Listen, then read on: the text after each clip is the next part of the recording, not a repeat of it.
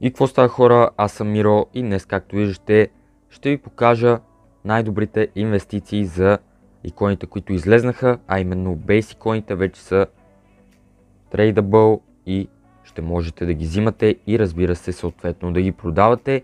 Но преди това, долу в описанието, както винаги, е моя Discord сервер, в който можете да влезете. Там има а, доста интересни неща и също така абсолютно всеки път, като излезе нов евент, ще получите вие първи гайд.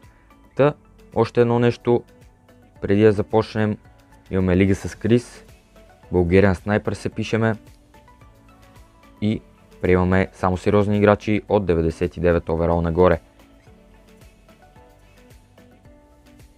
А сега нека да се прехвърляме към иконите, като след като а, изясня кои са добри за инвестиция и кои не, ще ви покажа как изглежда моят отбор в момента, като след около месец очаквам а, да имам Team Upgrade в канала, тъй че най-вероятно след като и Ultimate of излязат. И нека да започнем от а, това, че не ви препоръчвам да инвестирате в 8.5 и в 8.6 иконите, освен разбира се а, Viera и Hulit от 8.6 иконите, като че ли ще са а, така по-добри, но другите не мисля, че ще се вдигат толкова. От 8.7 иконите, може би Lineker, за нети, тъй като ще има и ивент икона и също така тези по-бавните нападатели, не ви препоръчвам да инвестирате в тях, но някой по-известен като Didier Drogba, например, ще ви свърши доста добра работа според мен, тъй като той още от сега се е вдигнал и вече има бройки. А пък най-добре, поем според мен за инвестиция са Пеле, Зидан, Гаринча и разбира се 8-9 иконите. Като всичките може би без Ван Бастен и Баджо ще се търсят наистина доста.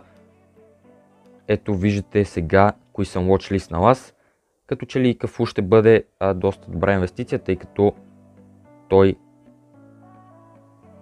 е един от малкото добри десни бегове в играта, като в момента имате най-вероятно повечето фритплей само Арнолд, включително и аз доскоро, но това беше от а, иконите, които поне според мен ще са най-добре да се вземат за инвестиция, а сега нека да ви покажа и моят отбор, като ето това е той, не е нищо особено в момента, но съм си взел стар паса, тъй че до края ще изглежда наистина значително по-добре, като очаквам да съм поне 105 оверал към края и повечето играчи от тук, които виждате, даже абсолютно всичките най-вероятно без Ди Мария и може би Дейвис има някаква вероятност, но най-вероятно и него ще го сменя.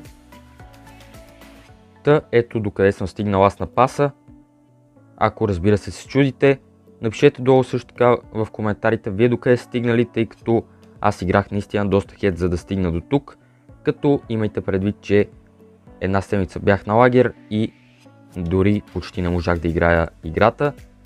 Та хора, това беше от мен, надявам се да съм ви помогнал и видеото да ви е било интересно.